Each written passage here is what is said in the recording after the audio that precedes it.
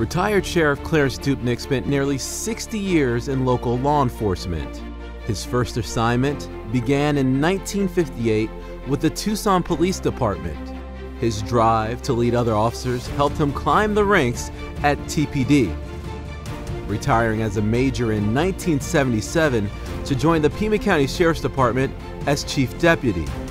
In February of 1980, Dupnik was appointed Sheriff of Pima County. Just nine months later, the community voted Sheriff Dupnik to his first four year term as the top law enforcement officer for the county, and voters ratified that decision by re electing him to nine more consecutive terms.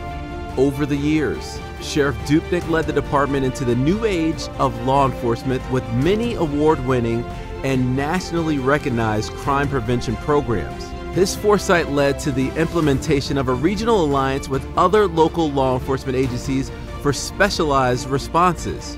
One quantum leap in technology and interoperability was the creation of the Pima County Wireless Integrated Network, or PC-WIN, a state-of-the-art communication system that allows emergency response personnel to talk to each other on their radios.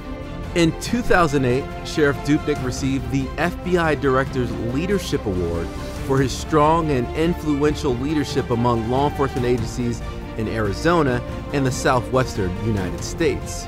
He is the longest serving top lawman in the county, serving as sheriff of Pima County for 35 years. On December 7, 2021, the Pima County Board of Supervisors made sure that his legacy will last forever, naming the Sheriff's Administration building after our 32nd sheriff. From now on, uh, the Sheriff's Headquarters building will be known as the Clarence W. Dupnik Sheriff's Complex. Thank you, Sheriff Dupnik, for your leadership and service to Pima County.